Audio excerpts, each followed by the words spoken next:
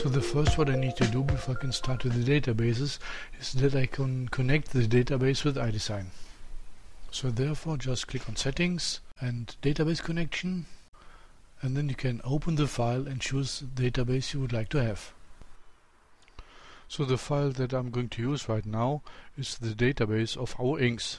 It's just a regular Excel sheet. Here you see the article number, product name, the content of the cartridges, the type of water-based or not, and how many cartridges are in one box. These are the informations I need. So now let's assume I want to print labels for my cartridges. So you might have noticed that the optics of the labels on our cartridges are exactly the same, just only the content is different. Normally, for each label I have to create a new message, or even if I'm using the action fields, I have to type in the content all the time again. And both is really time consuming. Okay, so here's now the table. Now let's create a new layout, a complete new one. And we want directly connect our new layout with the database. So that's really easy. I just open a field and if I have connected the database, then below you see the word DB field. That's what we need. So if I click on that DB field, I see immediately all the fields out of my database. So first of all, I would like to have the name of our inks.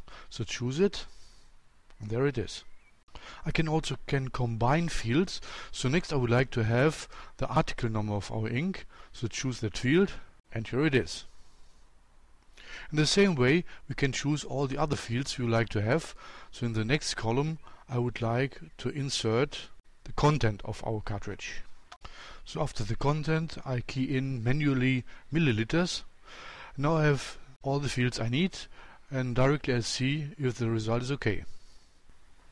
So the same I can also do with other fields, for instance for barcodes. So now let's create a QR code. Inside of that barcode I would like to have other informations, for instance database field, the article number.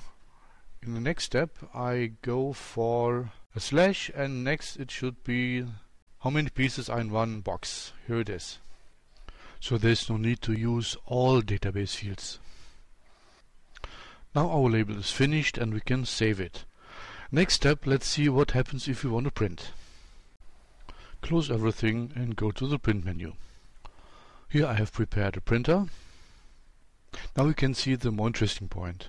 Normally you have plenty of different messages you see on the left side that you have to print one by one, step by step, which is boring. So what can I do instead? Go on printing and use on the right side the database button. By pressing this button I can see the whole database and choose which like of content I would like to print.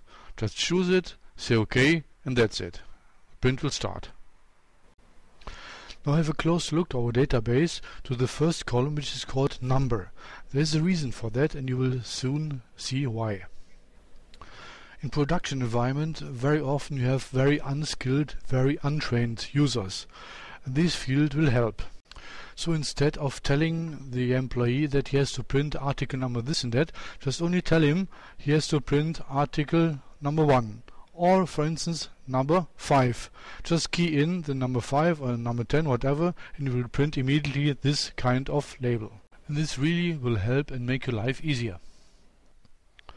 Now let's talk about database printing, which is the fastest way to print out of a database. Here you can see the file formats we can use for our database, which are Excel, Access, ODBC and the others like you see here. So what does it mean serial printing? The reason is that you like to print messages where each label, each content is different. For instance, if you like to print addresses. We can print a whole database in one shot. Of course, it's possible to do a reprint of messages. In the database we can choose where to start and where to stop. Of course you can also see the remaining amount of prints and how much time we need to finish all the printing. Of course all the data can be logged. But now be careful, the database printing is only available in iDesign Pro, so which means you have to buy the Pro version of iDesign or it's included in all the printers that are called Pro at the end.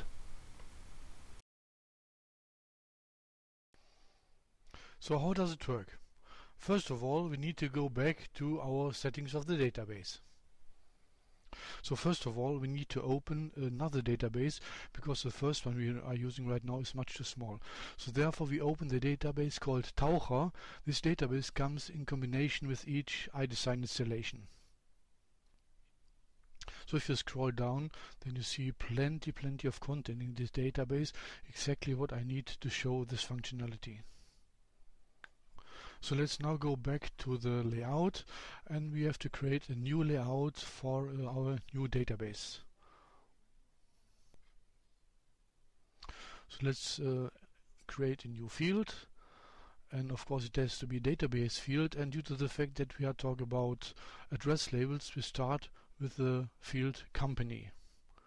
Immediately you see the result. Another font size, it has to be a little bit smaller. Next will be the address number one. Also another size and move it to the position where you would like to have it. Now add the next field, the city, and of course you would like to have a barcode, so let's choose the barcode. The barcode will have the content of the state and the country and something else. Now let's move each field to the right position and there's our label. So just be aware that our database contains hundred of lines, hundred of different messages and uh, okay now we have to save it and move to the next step. So everything is saved. Okay now we don't want to create a regular printing we are going to choose the functionality database print db print. So click on it to open and to create a new print job. So in the first place choose your printer and go to the settings. You can choose different options like uh, show reprint file and whatever. The recommendation is always to use the logging so that you can see afterwards what you have printed. So now let's go back to the print job editor. Here it is. And first of all you need to open and to select the message you want to print now. And um, here it is.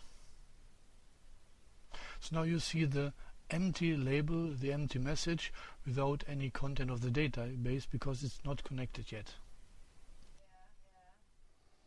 So now click on database table and open our database which was called the Taucher.